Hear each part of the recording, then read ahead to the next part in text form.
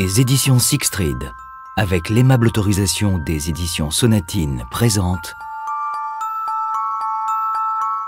Ne fais confiance à personne de Paul Clive, interprété par Julien Pilet.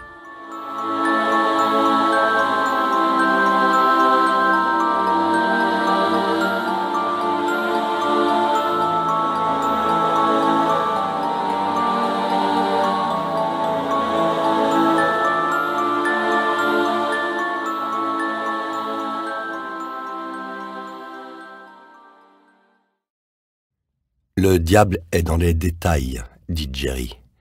Avant le diable c'était lui, et désormais il a du mal à se raccrocher aux détails. Il se rappelle le visage de la femme, la façon dont sa bouche s'est ouverte quand tout ce qu'elle a réussi à émettre a été un « O ». Bien sûr, les gens ne savent jamais ce qu'ils vont dire quand leur heure viendra. Sur son lit de mort, Oscar Wilde aurait parlé des rideaux, affirmant qu'ils étaient affreux et que soit ils devaient disparaître, soit c'était lui qui partirait.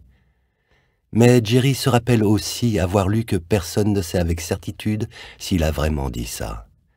Et il n'aurait certainement pas prononcé des paroles aussi mordantes si Jerry s'était glissé chez lui et s'était servi d'un couteau pour l'embrocher contre le mur. Peut-être un « ça fait plus mal que je ne l'aurais cru », mais rien qui aurait fini dans les livres d'histoire. Son esprit s'égare il fait cette chose que Jerry déteste, qu'il déteste tellement. La policière qui l'observe a sur le visage une expression qu'on réserverait à un chat blessé.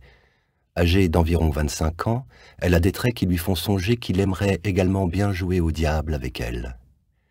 Jolies jambes longues, cheveux blonds qui lui descendent aux épaules, courbe et tonicité d'athlète.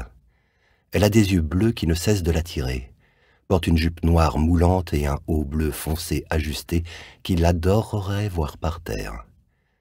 Elle n'arrête pas de frotter son pouce contre la pulpe de son annulaire gauche qui possède le type de cale qu'il a déjà vu sur les guitaristes.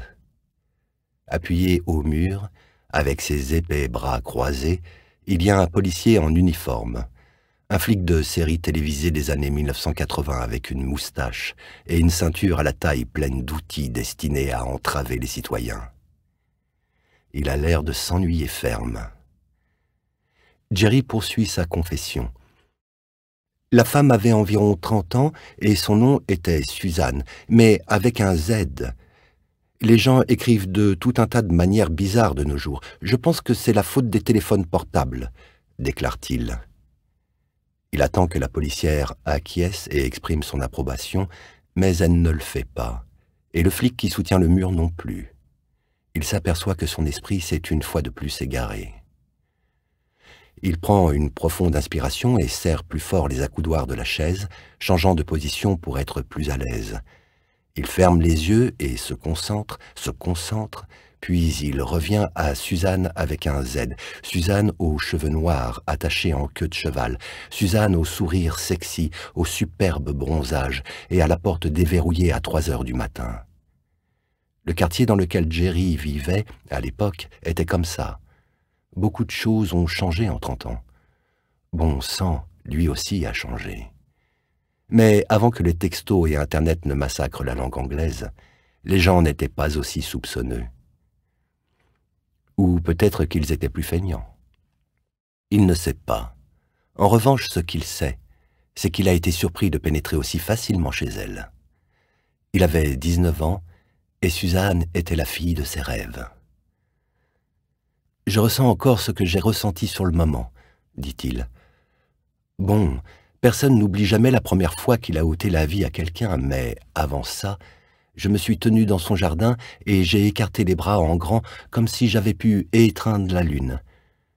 C'était quelques jours avant Noël. De fait, c'était le jour le plus long de l'année. Je me rappelle, le ciel dégagé et la manière dont les étoiles à un million de kilomètres de là donnaient l'impression que la nuit était infinie. Il ferme les yeux et retourne à cet instant. Il sent presque le goût de l'air.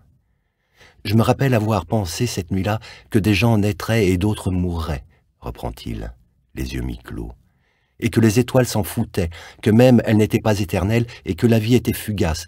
Je me sentais sacrément philosophe.